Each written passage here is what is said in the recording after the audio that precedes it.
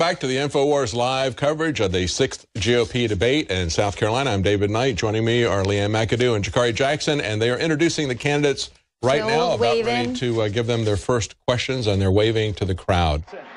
There's there's uh, yeah. Ben Carson, and he's had a lot of problems uh, over the holidays. Uh, his campaign manager and many of the staff left. Uh, they were upset because he was getting uh, they were getting divided uh, control based on a friend of Ben Carson's, who is also a talk show host. They felt that uh, this individual was running the campaign and subverting them. Uh, he called uh, the press to come to uh, his house, and at that point he says, we're going to have a big shakeup. And that was right before the holidays.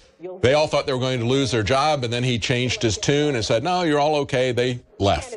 And today he fired his uh, uh, campaign finance uh, uh, uh, head honcho who was making $20,000 a month. How's that uh, for management? So he's had a lot of problems wow. with management. Let's go to the debate right now and see what the question is here. First question. Research. Jobs is one of the Job. biggest issues. Here we go. Yeah, I guess this is going to be standard boilerplate uh, Fox Business stuff. The president is touting 14 million new jobs and an unemployment rate. How many jobs did you create? Half. How many jobs would you create? You didn't build that. Anyone who claims America's economy is in decline is peddling fiction. Mm. Senator Cruz, what do you see that he doesn't? Well, Maria, thank you for that question, and let me say thank you to the state of South Carolina for welcoming us. Let me start. I want to get to the substance of the question Welcome on jobs, but I want to start with something. Today, many of us picked up our newspapers. And we, we saw stories about Ted Cruz. Yeah, while, while he's yes. doing that, uh, Zero Hedge, I believe, ran a story just the other day talking about how the uh, the new job numbers are somewhat misleading because the job numbers also include uh, single individuals who hold multiple jobs. Yeah. So if you work at you work part time at McDonald's, you work part time at Burger King, like, well, look at all these new jobs. These are people right. who are forced to work these part-time jobs because of current uh, reg regulations. It's difficult for them to get a full-time job with full benefits. Yeah, because of Obamacare. Yes. Obamacare says you work more than 30 hours a week. They redefined what full-time job is. You work more than 30 hours a week, then you're going to have to give them insurance so the employers cut their hours down. So now they've got to try to juggle the requirements of two different employers. Made their lives a lot more difficult. Plus, 17% of the jobs are being held by immigrants who've come in, arguably to take jobs at a lower cost. All the job growth since 2008 has gone to immigrants. The United States of America. Now, I'd just like to point okay. out that he did not answer the question about right. what do you yeah, think about the naysayers so think that we haven't created any jobs. He said, well, I want to talk about the fact that we're giving billions of dollars to Iran, and when I'm president, I'll make sure I bring the full fury down on them if they take some of our sailors. Like, doing great under Obama. Ted Cruz sure is, is, probably. Someone the, told him that. His advisor was like, talk about the Navy sailors. Yeah, he, he's probably the uh, uh, slickest of the debaters. He yeah. was on the debate team at Princeton, and uh, they were talking about the fact that Ted Cruz will get asked a question. He has dominated uh, the time uh, that, that all these people have, and one of the reasons for that is because when they ask him a question, he doesn't answer it. He talks right. about what he wants to talk about, and they come back and say, well, you didn't answer that question. I'll give you another chance to do this. Mm. Uh, and yeah. that's a good example of how they ask him a question about jobs. He wants to talk about Navy sailors uh, being on their knees so he can uh, yeah. you know, wave the flag. Right. That's basically So, David, are you saying that Ted Cruz is a master debater? escalates like yeah, more or less. Back when Barack okay, so now they're asking Kasich about uh, the stock market. What actions would you take if the same thing happens all over again, just as in this example, you are taking over the presidency? Well, look, it takes three things basically to grow jobs, and I've done it when I was in Washington when we had a balance. Ask him about the stock market. Ask him about Lehman Brothers, where he and Jeb Bush worked and took all of this uh, so, uh, massive you paychecks. May have heard about this. I mean, he was going out. He was working for Lehman Brothers. He was selling junk investment to the teachers' unions and uh, pension plans. And he got, I think it was a half million dollars. It seems like that's a figure that keeps coming up again. Yeah. He got this huge, uh, several hundred thousand dollar uh, commission. At the time, he was selling junk to people on behalf of Lehman Brothers, and you know, Jeb Bush is, uh, was also there. But. Half a million must be the amount that you can inadvertently forget to tell anybody about. Yeah, it's only half a million. Yeah, so doesn't really quite. I always forget when people loan me money like that. When you reduce taxes and when you you have fiscal discipline, you see the job creators begin to get very comfortable with the fact that they can invest. Right now, you don't have the, you have taxes that are too high. You have regulations. I mean, come on, they're affecting everybody here, particularly our small businesses. They are, uh, they're in a position where they're smothering people.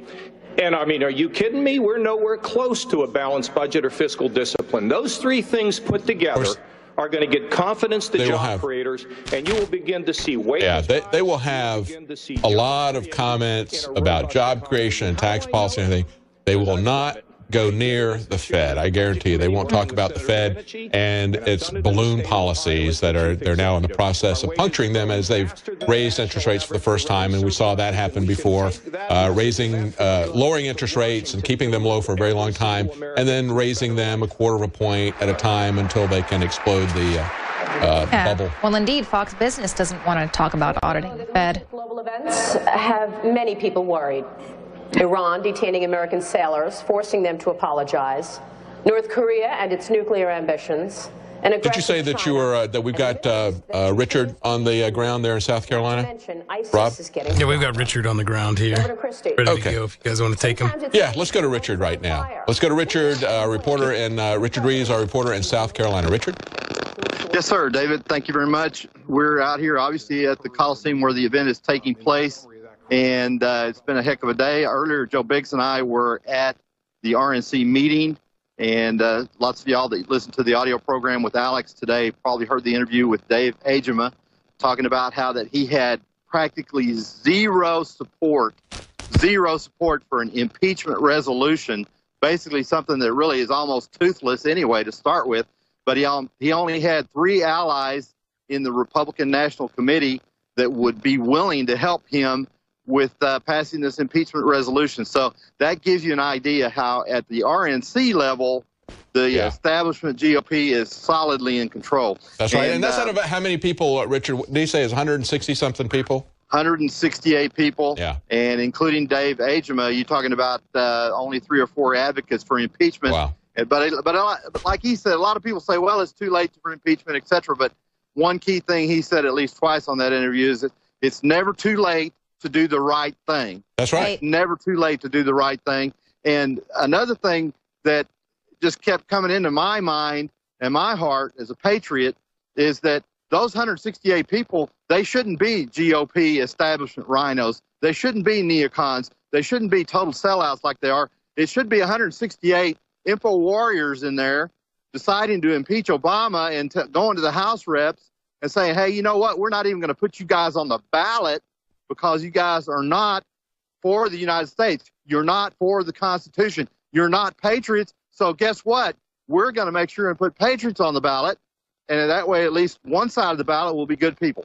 Yeah, I agree with you absolutely. And, you know, when I listened to uh, Dave, uh, is Agema, is that how you pronounce his name? Yes, sir. Yeah, Agema. I mean, he, he was a straight up guy, and, and it reminded me of uh, Winston Churchill in the history of the English speaking people. What he talked about was he said, when America had its revolution, it was a liberation for England as well. To overthrow that tyranny of a dictator king enabled them That's to right. have a parliamentary government. That's when those people really became strong. And so the Democrats need to understand as well that they don't want to have a Republican dictator down the road. And as uh, Dave Agema pointed out, many of these Republicans are saying we want to have this kind of power when we get in uh, in office. So they're they're good with the fact that uh, uh, Obama is acting as a dictator. They don't have a problem with that. They want to be that when they get the power structure themselves. Yeah.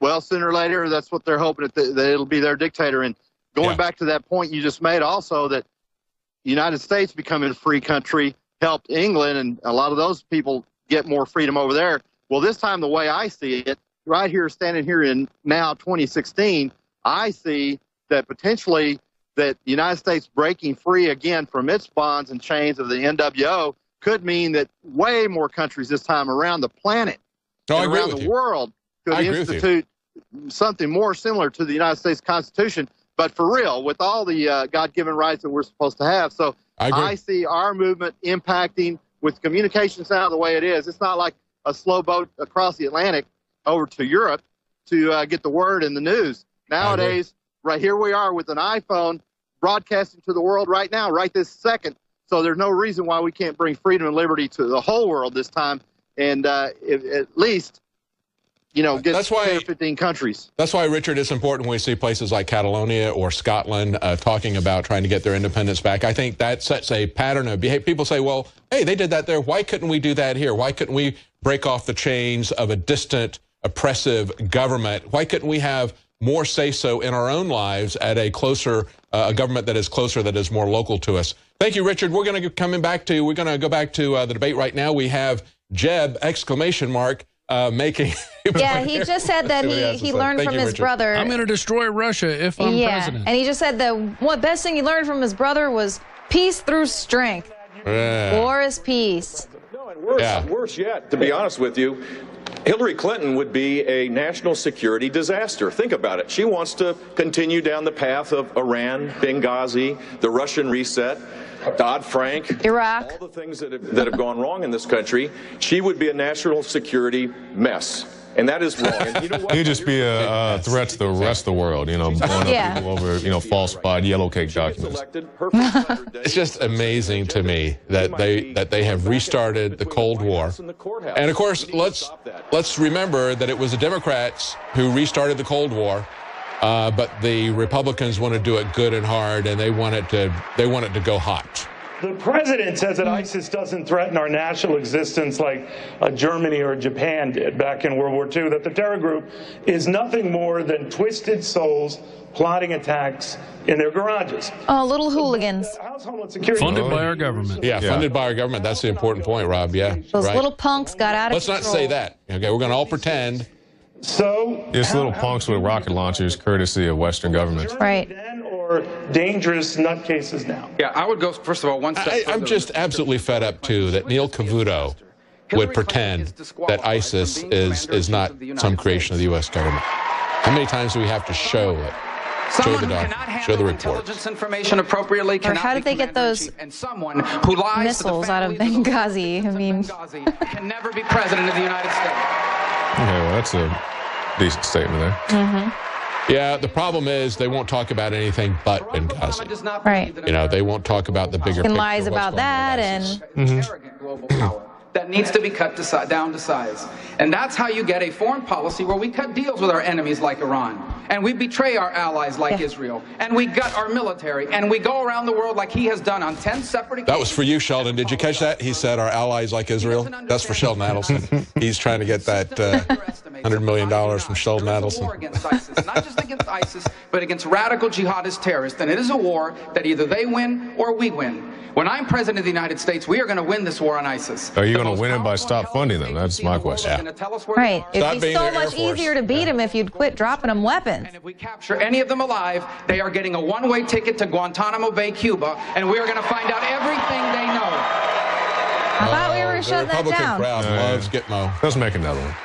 Thank you, Senator. You know, I had a couple of, there were a couple of interesting articles this week, uh, interviews of people who were released out of Gitmo after being held for 14 years and never charged. Yeah, but tortured throughout the. One of the individuals uh, had bruise marks in the uh, impressions of the chains that they beat him with. Understand that, you know, Obama and the people on the left should be as angry about this as I am. Obama said he was going to get rid of Gitmo, and he didn't. Instead, what he did was he signed the NDAA, saying they could have indefinite detention of American citizens by the military, to do the same thing to Americans that they have done to these poor people that they picked up that had absolutely uh, no connection to Al Qaeda, held them for 14 years, tortured them. One guy from the time he's 26 to the time he's 40. Now they're mm. releasing him. Right, or the people that you do know are really high ranking within these terror cells, and then you release them mm, yeah. and say, We're going to keep our eye on them for a year. I promise they won't get right back to terrorism. And of course, they have. Yeah, we'll let them uh, get on Twitter so we can track their activity. Yeah. And we have enemies who are obtaining nuclear weapons. This is, uh, we all need to be afraid. We need to have uh, full on war on terror. All civil liberties need to be sacrificed. Uh, safety, they're going to give you safety if you give up all of your freedoms. Let's just lay it out on the table and just just have them all agree to that, sign a statement, and then we can just finish this debate because this is what they say every time. And it's no wonder that, you know, so many young people are feeling the burn because of the things that he